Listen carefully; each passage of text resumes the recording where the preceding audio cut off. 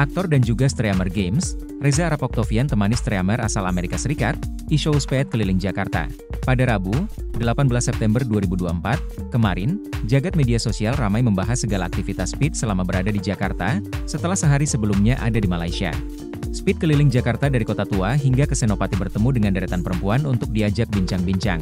Reza Arab dipercaya menemani Speed berkeliling selama di Jakarta termasuk bertemu dengan beberapa influencer lain, banyaknya antusias fans Speed di Indonesia terlihat ketika live streaming sekiranya ada ratusan orang yang terus mengejar Speed saat berkeliling. Speed memang dikenal sebagai streaming yang selalu melakukan live stream ketika berkeliling di negara yang dikunjunginya. Riu fans yang terus mengejar Speed untuk minta foto dan bisa nongol di stream, ikut dirasakan Reza Arab yang setia menemani. Dalam cuitan di media sosial Twitter atau X, Reza Arab curhat kalau dirinya ikut kena cakar oleh para fans dari Speed. Tak sampai sana, mobil pribadi Reza Arab pun kena gebrak para fans Speed yang antusias mengikuti perjalanan streamer tersebut di Jakarta. Selama di Jakarta banyak hal yang dilakukan Speed atas rekomendasi para penggemarnya, di antaranya adalah bermain angklung dan ikut nyanyi di kota tua, lalu cek hodam atas rekomendasi beberapa fans. Tak hanya itu, Speed menjajal nasi padang ketika baru sampai di kota tua, keliling pasar sembari melihat batik.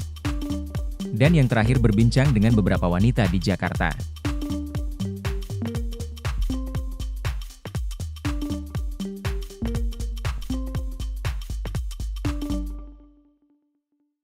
Download Tribun X sekarang, menghadirkan lokal menjadi Indonesia.